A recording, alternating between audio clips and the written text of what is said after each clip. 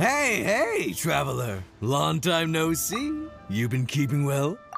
Oh, so you've completely forgotten who I am, huh? Really high spirits the whole way back. He kept trying to get everyone to join him for.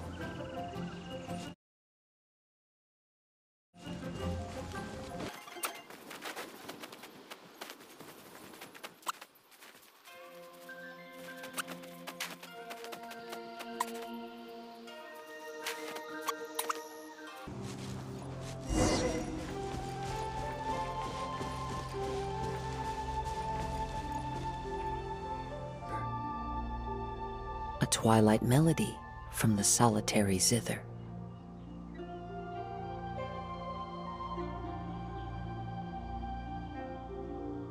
Hey, hey, kid. So, what are you up to here? We You made it. Good to see you again. This appellation, Kaedehara Kid, when uttered by Paimon, it takes on a whole new tone. The events of Inazuma are behind me, and no longer linger on my mind. That's not regarding your sins. There was none to begin with. Unfortunately, you are too late for that, because now there is. Huh? That's good guessing. There was nothing to begin with, but somehow there still is. What? Shh. Listen. What do you think? Wow.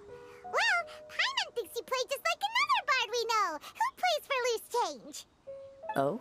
You're friends with a professional bard? I hope I have the chance to meet them someday. Traveler, what do you think? Very good. You're right. More to the point, however, it has a certain special ability. I acquired this anonymous ancient zither from an abandoned cave dwelling as I was exploring the mountains. When I first found it, it was old, but intact. The sight of it inspired me, and suddenly I found myself strumming. To my surprise, as soon as the melody began, my mind began to drift. And I could hear the sound of someone playing along with me. Somehow, it all felt so familiar. Uh, just to circle back for a second, are you sure you haven't been eating anything suspicious that makes you see things that aren't there? I don't believe so. Because when the melody ended, My mind became completely clear again. That's when I finally started to inspect my surroundings properly. As expected, it was a place full of mystery. The cave was overrun with weeds, so I imagine the owner left a long time ago. But the table and chair were spotless and gave off a fine and delicate.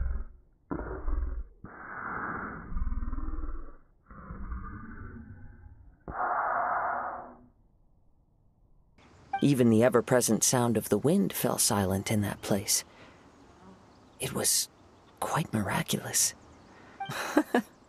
Who can say? regardless, it was a wondrous experience. And after it was over, I thought to myself, I simply must share this with a friend. I doubt this would interest Beidou in the least.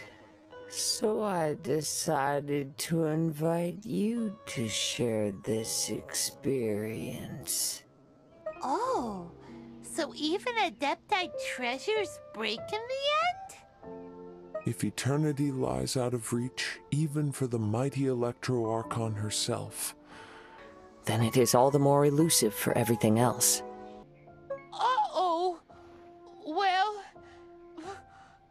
Please be super duper careful with their Serenitea Pot.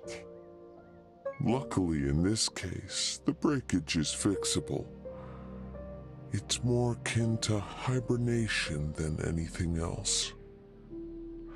The energy within the instrument has dissipated with the passage of time.